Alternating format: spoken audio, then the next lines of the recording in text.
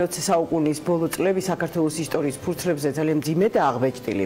1993 წლის მარტში კვლავ აფხაზეთის ომი მიმდინარეობს, ამავდროულად კი თბილისში სამოქალაქო ომის ხანაა. გაზეთი საქართველოს რესპუბლიკა 1993 წლის მარტის ნომერში აქვეყნებს სტატიას სახელით ომის ბავშვები.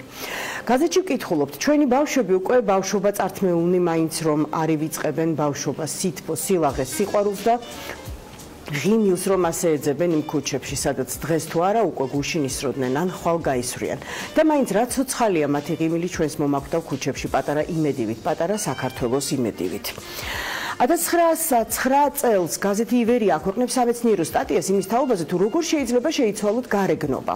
110 წლის წინანდელ გაზეთში აღწერენ იმ ქირურგიულ манипуляციებს, რომელიც პლასტიკური ქირურგიის წინამორბედად შეიძლება ჩაითვალოს.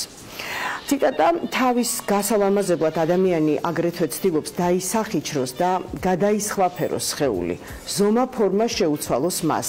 როგორც ჩანს, რაც უფრო მაღლადგება ადამიანი ცხოველზე, მით უფრო შეუთავსებელია საკუთარ ჩარჩოსთან წერს 110 წლის წინანდელი ივერია. ანუ ეს 110 წლის წინ საქართველოში დაიწერა. იყო უკვე მცდელობა ამისი, რომ ეფიქრათ სხეულის ფორმების შეცვლაზე კი და რაღაც ელემენტარული ფქირურგიული манипуляციები უკვე ტარდებოდა.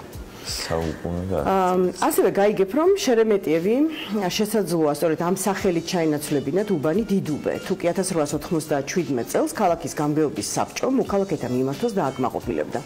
გაზეთი ცნობის ფურცელი გვაწვის ინფორმაციას იმის თაობაზე რომ თურმე მე-19 საუკუნის მიწურულს დიდუბელთა ნაწილს სურდა დიდუბისთვის სახელი მთავარ მართებელი შერემეტევის პატივსაცემად გადაერქმიათ.